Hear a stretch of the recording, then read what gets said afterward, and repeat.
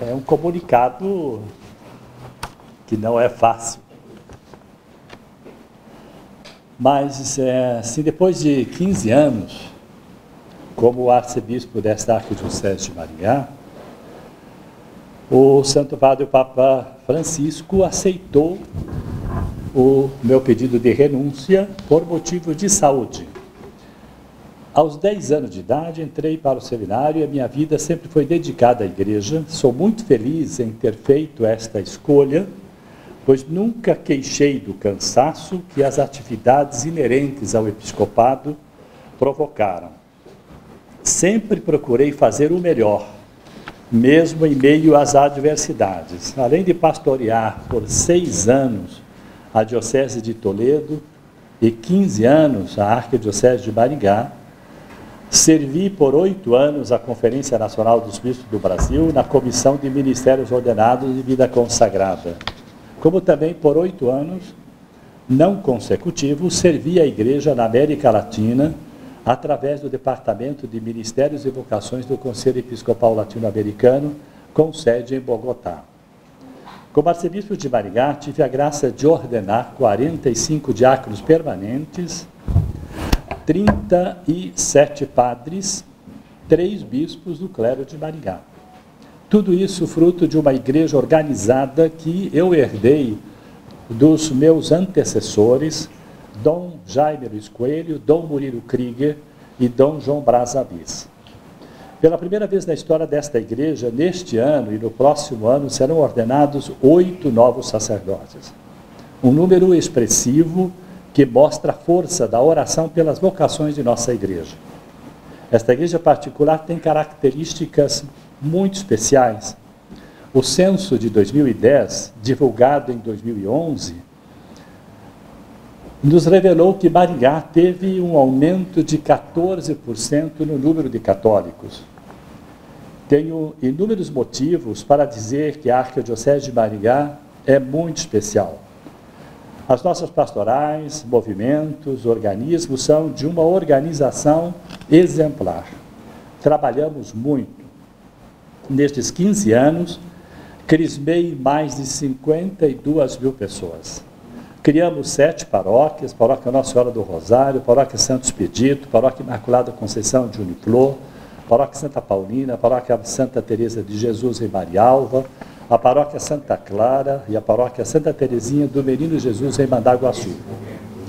Diversas obras foram feitas, como a reforma do Centro de Formação Bom Pastor, a reforma do auditório São João Paulo II, a reforma da capela do seminário arquidiocesano, a criação da casa do padre idoso, que tem acolhido os nossos queridos padres sacerdotes, que depois de uma determinada, determinada idade precisa de uma atenção especial.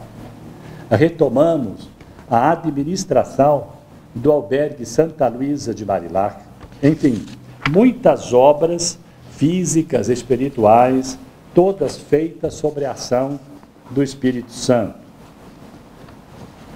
Chiara Lupe, fundadora do movimento dos focolares, certa vez dizia que a caneta não sabe o que deverá escrever, o pincel não sabe o que deverá pintar, o cinzel não sabe o que deverá esculpir.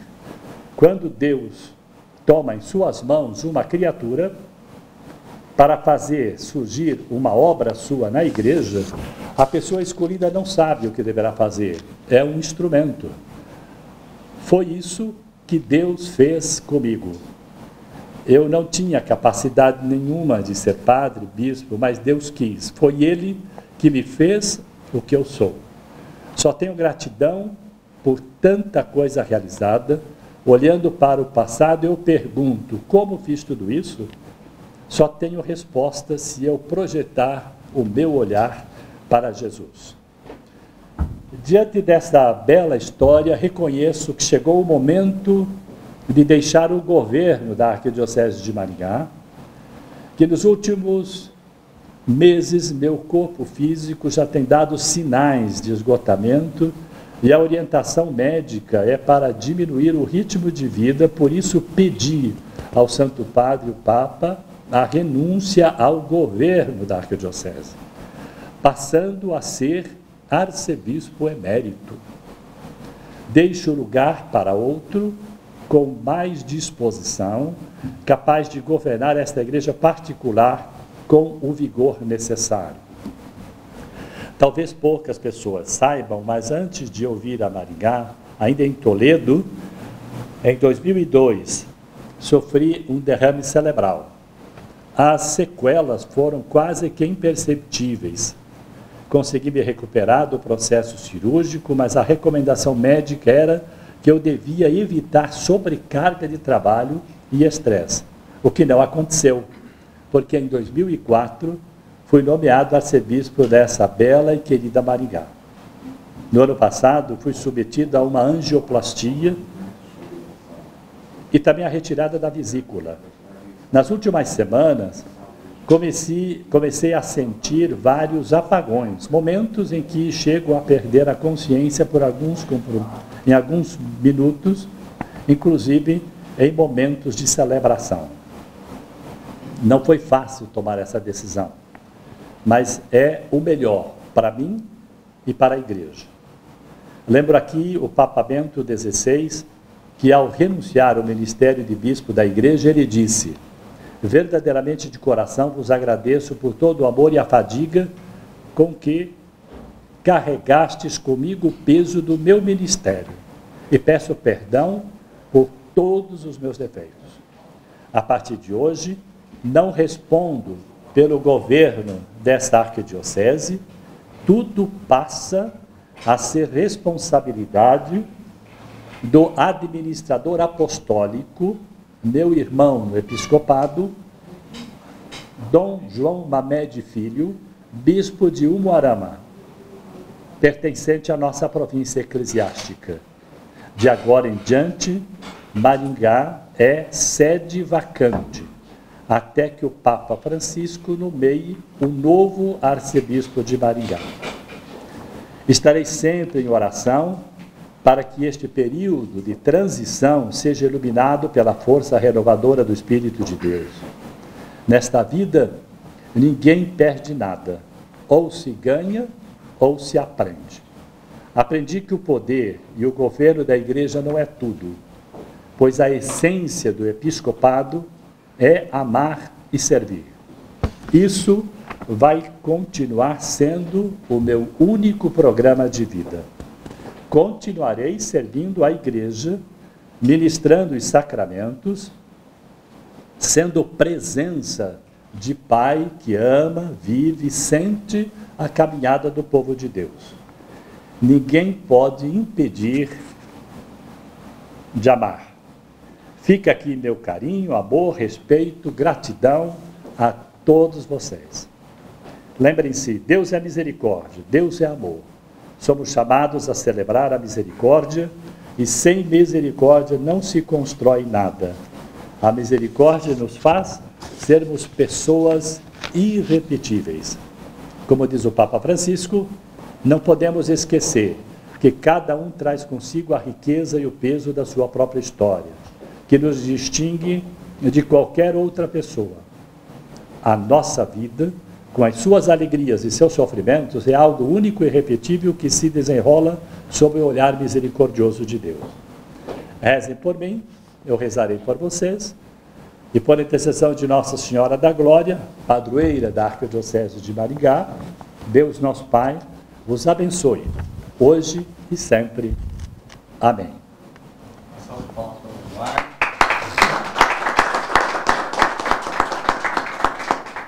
Bom, a partir de agora, como o Donar já, já comunicou, é, ele é o emérito da arquidiocese, o Dom João Mamed é o administrador apostólico, e ele tem todo o governo da diocese, né, todo o governo.